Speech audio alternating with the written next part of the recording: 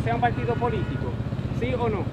Bueno, realmente yo no estoy de acuerdo y como dice el, pres- el expresidente Hipólito Mejía, que ellos tienen que revisarse porque ellos están en contra de lo- del sistema político tradicional. Entonces, ellos tienen también que definirse porque ellos dicen que son un movimiento, pero están en contra.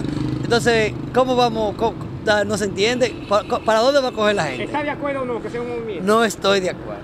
Yo no estoy de acuerdo porque una vez que te da un partido político, van a venir los intereses personales y ya todas las sociedades no se van a multunar todas juntas para protestar por lo que es la impunidad y por lo que es la delincuencia en la República Dominicana. Yo no estoy de acuerdo que sea un partido político. ¿Por qué no? Yo prefiero que siga siendo una, una marcha como está haciendo así, porque después van a haber intereses políticos y entre otras cosas así. Y es mejor que siga siendo una marcha para que así más personas se integren y tengan más deseo de participar y otras cosas. como movimiento verde, ¿Por no como político. Adiós, porque va bien así, no como político, porque entonces se va a caer si sigue como, va a perder la dignidad y va a volver un desorden.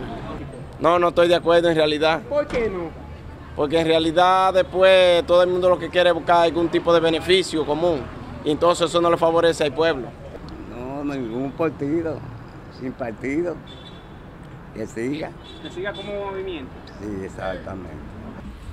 Bueno, si es un eh, partido político, yo lo veo demasiado mal, demasiado mal, no mal, no malísimo.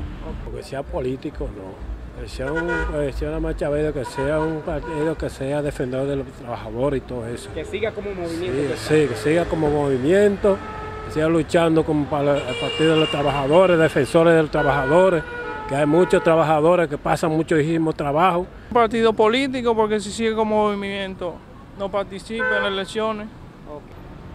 Los partidos políticos son los que tienen la situación como está.